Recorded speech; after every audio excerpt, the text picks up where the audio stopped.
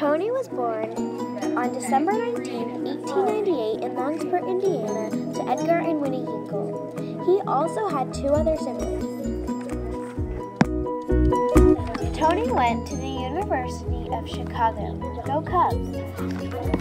After college, he went to Butler University and coached baseball, basketball, and, and football, and also While coaching basketball, he came up with his own basketball strategy.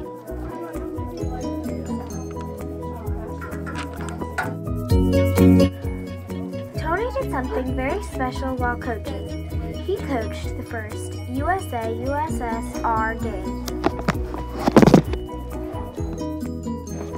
Tony later got married to Jane Murdoch Stewart.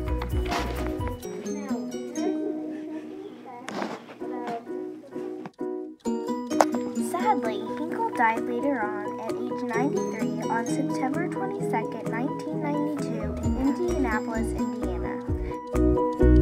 We remember Tony because of his impact in Butler athletes. Tony Hinkle helped his community by helping Butler basketball, baseball, and football win a lot of their games. Later on, Butler realized they had to do something. So instead of Butler Fieldhouse, it is now called Hinkle Fieldhouse because of Tony Hinkle's impact on Butler. That is why Tony Hinkle is a famous Hoosier.